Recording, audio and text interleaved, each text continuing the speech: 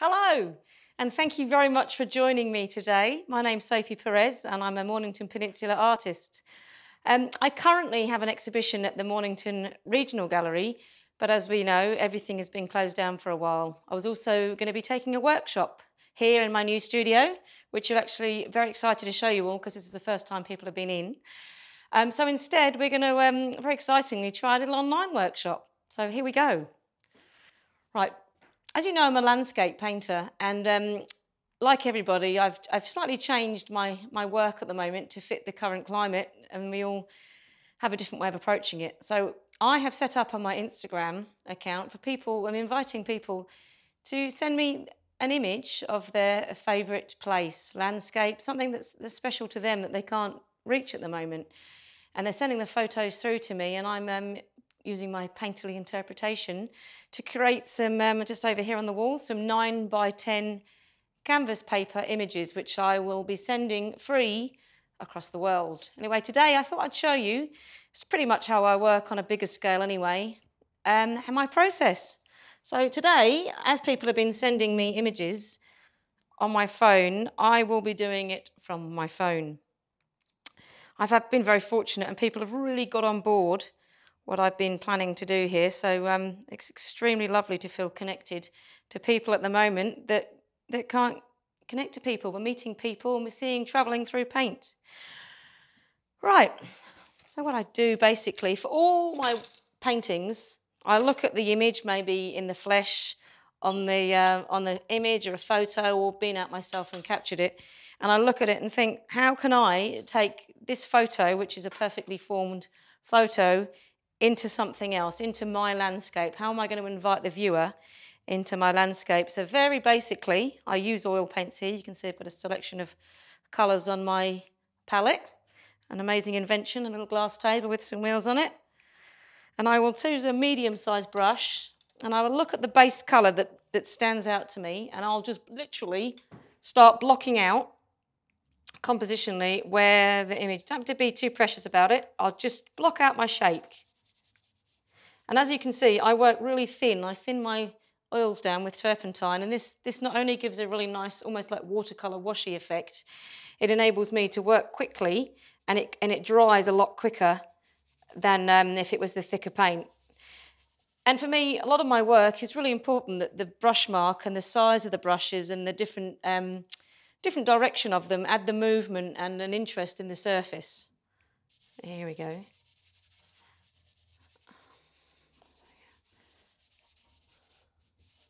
So as you can see, I have one, two, three, four, eight panels going on at once because now I have to leave that to dry. And if I had to sit there and dry, I would be on Instagram for a few hours. So instead of sitting there browsing my phone, I have another image that I'd like to start. So whilst I've got my greens mixed up from my previous palette, I've chosen another image which is predominantly has a green background so that when they're small, I like to try and paint like they're big images, use the paint without mixing it up because it becomes wasted.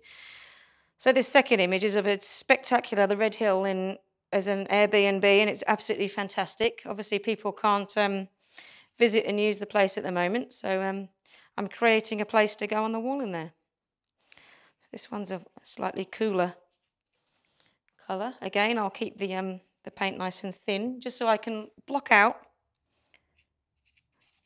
Remember, even though these are slightly off square, some of the compositions that have been sent through to me are much more portrait or landscape. So, uh, you know, bearing in mind the traditional rule of thirds, I'm trying to adapt the, the composition as I go so that I know that it will work as a final image.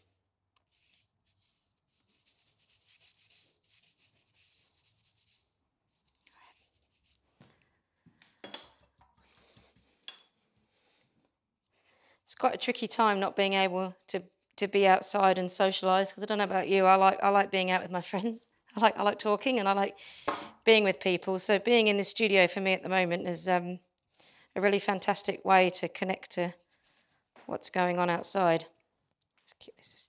This is going to be quite a lot warmer than the colour that the image has sent me. But again, when, when I start off, I like to do a lot of underpainting to try and block out so that when you put it back across, the top painting, when it's dry, it gives it a very different depth when you're painting. There. So whilst I've got a couple blocked out, just to show you how I start the process, I've got, this is yesterday's painting, so now I've basically blocked out some of the compositions. Some some are harder than, than others because they're not necessarily the subject I would have chosen to paint. So it's been really it's been an exciting challenge to push myself again to look at it from a painting perspective.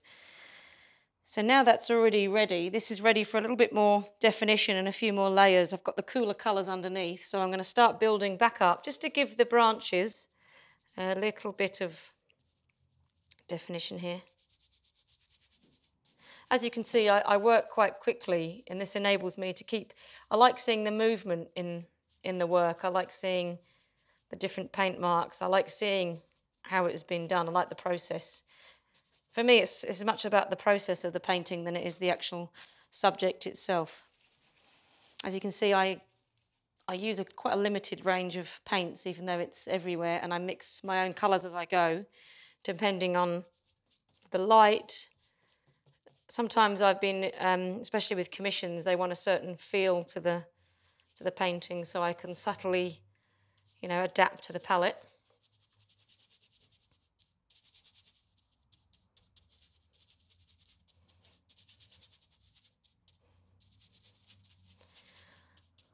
I like to keep making sure that even though I haven't been to this place, I keep looking at the landscape that the person has sent me to really try and get the essence of what it is and their story. They've sent me some beautiful stories. The story behind what they are wanting me to capture in the actual image. And a few of them, I've actually been to quite a few of them, but I've also got some places in Brazil and um, these kind of exotic locations that I haven't been to. So having the, having the familiar story behind it is really quite grounding. So here I'm using some cooler tones underneath and a warmer tone. So the general idea of that is if you put a, a cool background and a warmer tone on top or the other way around, it gives a really, real intense depth that you wouldn't necessarily have if you just painted it flat onto the surface. And I'm still using quite a big brush here. This is actually one of my favourite sizes. Number eight, so favourite, I had to look at it. Um, which um, is a really lovely, um, as I say, I'm trying to remember how I paint big with my whole body, even though it's a small image. Otherwise they become a bit...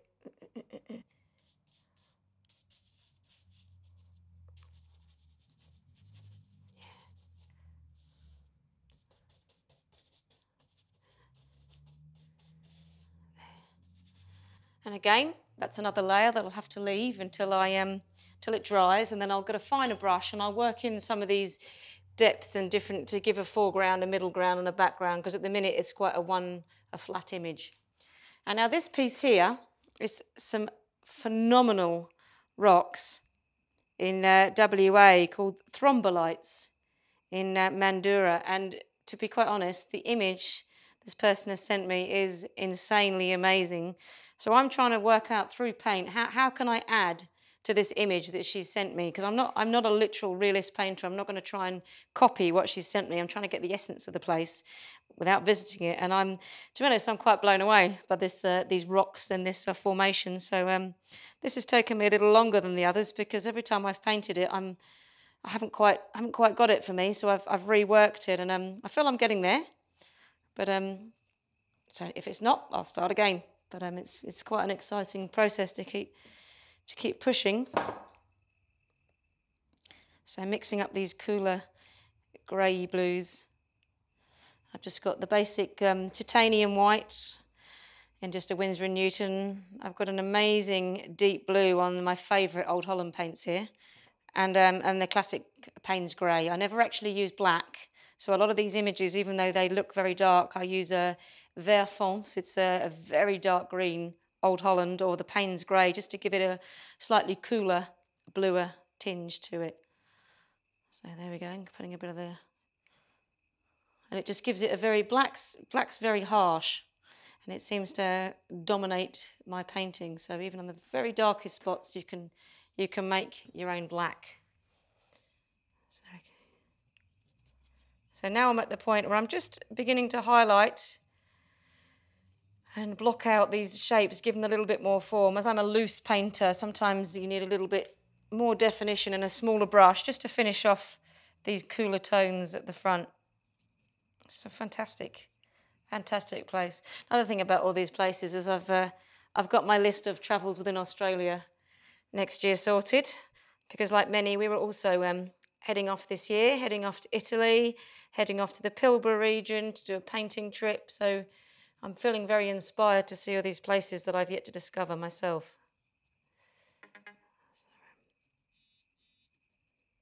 Technology. Yeah. Beautiful.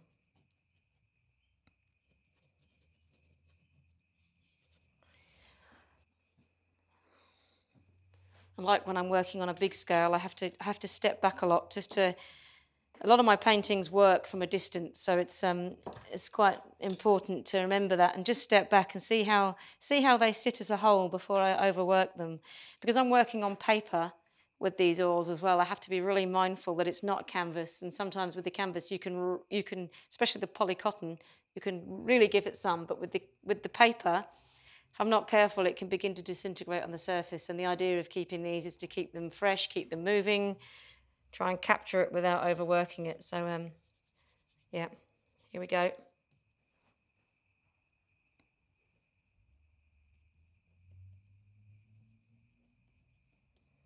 See a bit of bit of pure titanium white amongst those greys there just really lifts the sunlight, which is an amazing reflection here on the water and between the rocks.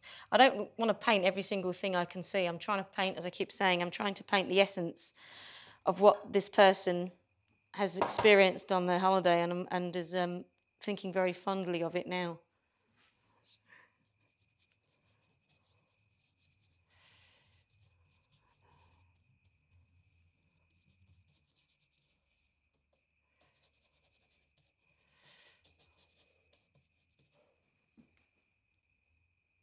although I, I like I feel like I paint sometimes like I could be using watercolors with the thin down, the layers, the surfaces.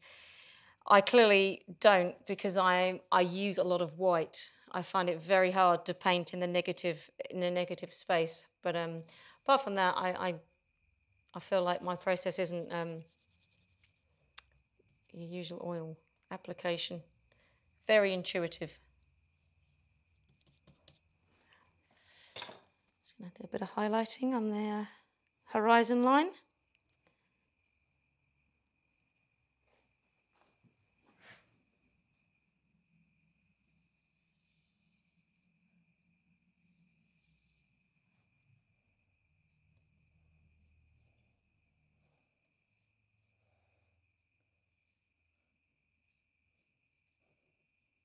Again, I like to draw out a lot of I don't draw out with the, a pencil, but I feel like I draw with the paint. So as I'm going along, anything can be rubbed off, anything can be worked back. It's just a nice, um, get some definition in the landscape, the horizon. And if it's too harsh, like that clearly is, what I do is get a little rag, put a bit of turpentine on it, and just work it back to the, this is amazing, this is Canson um, 300 GSM canvas paper, and um, it's the first time I've actually used it. it's fantastic, absolutely fantastic. Very pliable, very forgiving. So yeah, another one I'm going to have to leave that to dry for now as well now. So I just wanted to show you finally to wrap this up. These are some of the finished um, pieces that I've produced and I'm, I'm, actually quite pleased with the results. When you take the masking tape off the edge, it really, it's like it's being framed. It gives it a real um, edge to the painting. So as I say, a lot of these pieces have been all over the place. These, these happen to be Tasmania, this was Brazil, this is Mount Eliza, this is somewhere in Gippsland, this is Italy. How beautiful, this story was really beautiful. She's it's a surprise present for her husband, 27 years wedding anniversary. He happened to grow up there in France, actually, not Italy, France.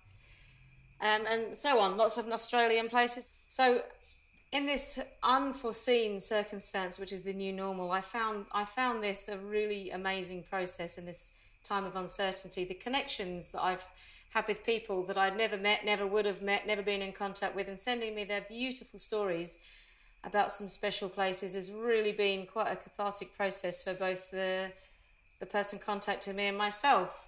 If if you would like a painting of your own of a special place or somewhere you can't get to at the moment, I know that a lot of my, my family is still in the UK, so um, a lot of all of them going back that way. I'd, I'd love to paint it for you. So please um, have a look at my Instagram and send me a photo. Keep safe and keep well. Thank you.